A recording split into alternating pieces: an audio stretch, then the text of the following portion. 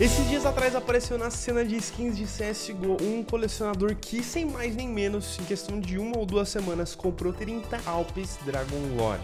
A coleção dele, alguns dias atrás, estava aparecendo isso daqui, quase 40 AWPs entre Dragon Lores e Gangnirs, skins que são muito líquidas, bem valorizadas hoje em dia, e ele já tá fazendo, inclusive, algumas trocas, tá? Ele tá pegando vários adesivos de Katowice 2014 e facas raríssimas, esse inventário que se estimava vai custar 2 milhões, já tá passando de 3 milhões de reais e agora eu consegui acesso ao inventário dele. Antes estava privado, mas agora tá público e ele fez o que eu achei que ele iria fazer, galera. Se liguem só, o iBuy Power aqui apareceu na coleção de adesivos dele. O Reason também, né, ele tem, que é o terceiro adesivo mais caro. Bem provavelmente ele tá mirando também em conseguir um Titan holográfico. E nós temos o vencedor! O nosso vencedor recebe uma caixa com skins incríveis da Keydrop. Temos também algo especial especial para todos os espectadores. Com um código promocional acima, recebe 50 centavos para começar e 5% de bônus do depósito.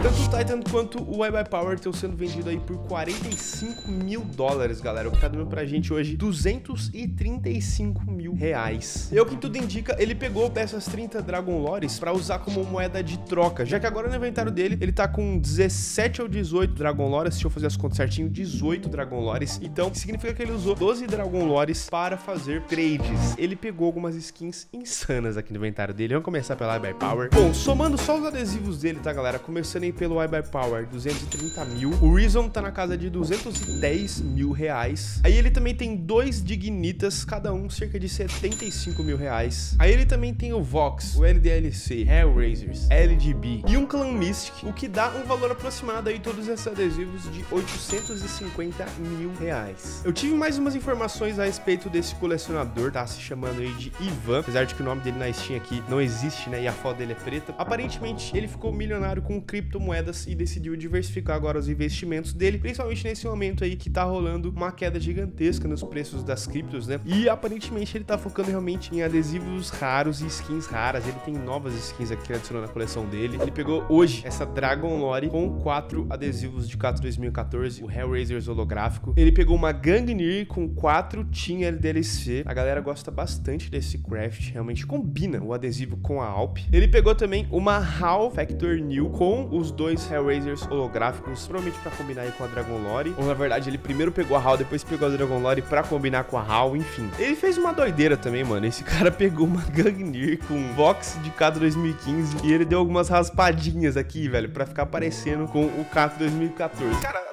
doideiras, doideiras, esse cara ainda vai aprontar. Ele craftou numa Wild Lotus aqui, 4 Complexity Gaming holográfico de Cato 2014. É um dos adesivos mais baratos, mas mesmo assim, mano, doideira fazer isso, né? É praticamente deletar alguns milhares de dólares. Agora veio o iBuy Power, né? Então, com certeza vai vir um Titan nesse inventário, mano. Ele vai fazer isso. E essa coleção aqui, galera, já tá dando 3 milhões de reais. Eu chequei aqui no Discord que eu uso para ter uma média aproximada, né? E o inventário dele tá valendo 500 263 mil dólares, que se a gente converte aqui tá dando 2 milhões 953 mil reais. Já chegou em 3 milhões, mano. O cara conseguiu gastar 3 milhões em duas semanas no CS. Imagina o que, que esse cara não vai fazer no futuro próximo. A coleçãozinha de facas dele também cresceu. Coleçãozinha nada, né? Coleção zona, mano. Butterfly Safira, Butterfly Ruby, uma Karambit Blue Gem. Provavelmente ele em breve vai pegar uma melhor. Talon Blue Gem. Essa daqui já tá sensacional, velho. Eu quero até dar uma olhada nessa faca aqui mais de perto, mano. Eu acho que que é um dos melhores patterns de Talon, velho. Não tô vendo nada de dourado, 100% azul. E ele acabou de adicionar mais três facas pro inventário dele, começando com essa M9 Stat Track Crimson Web Float baixíssimo, Factor New 0.060, é o máximo, né, na verdade é o mínimo dá pra conseguir. Bastante teia aqui, só que é o backside. Pra combinar com a M9 Crimson, ele lançou uma M9 Safira e também pegou uma Karambit Ruby hoje. Provavelmente, enquanto eu falo, esse cara tá comprando mais skins. Ele comprou hoje também uma P250. Eu achei interessante com o Reason Game aqui. Uma AK Blue Laminate com três adesivos. Bem provavelmente ele comprou essa AK pra completar o craft. Vou lá mais algum adesivo aqui. Ele tá com das M4S mais loucas do CSGO na cor vermelha, mano. Que é essa Hot Rod aqui. Luva Pandora Factor New. Pô, galera, o inventário do cara realmente tá muito recheado. E eu tô muito curioso quais serão os próximos passos, porque ele provavelmente vai trocar esse bando de Dragon Lore aqui em skins raras ou adesivos, já que a Dragon Lore é uma skin bem líquida, serve como moeda de troca, cada uma tá custando perto aí dos 50 mil reais, então ele pode usar aqui ainda essas várias Dragon Lores que ele tem, ó, olha isso, mano, ele tem ainda muita grana em Dragon Lore, tá? Quase, sei lá, um milhão de reais aqui em Dragon Lore, então realmente ele pode comprar aí facas Blue Jam, adesivo, fez uma 661, aplicar adesivo na 661, mano, esse cara pode fazer tanta coisa, eu vou pensar o seguinte, o próximo passo dele vai ser comprar um Titan, tá? Muito provavelmente, e aí ele vai querer começar a manipular os preços dos adesivos, então provavelmente ele vai querer comprar alguns adesivos mais baratos, aplicar algumas skins e com certeza ele vai crescer a coleção de Blue Gems dele, né? Por exemplo, facas, né, como uma Karambit Blue Gem, uma AK. Ele já tem aqui uma AK Case Hardened, só que, mano, sei lá o que, que esse cara comprou. Ele é novo na cena de skins CS, que ele realmente manja pelo jeito, são investimentos em criptomoedas. Então, ele tá se aventurando, ele tá tentando chamar a atenção da comunidade e ele tá aproveitando oportunidades. Ele deve ter muita cripto parada e aí aparece alguém querendo vender uma skin pelo preço de mercado um pouco abaixo, ele vai lá e compra. Então, vamos ficar de olho aí, porque esse cara também pode levantar o preço de diversas skins, né? Eu acho que o Webpower não pagou só 45 mil dólares, pelo que eu sei. Tinha um cara que já tinha oferecido 45 mil dólares nesse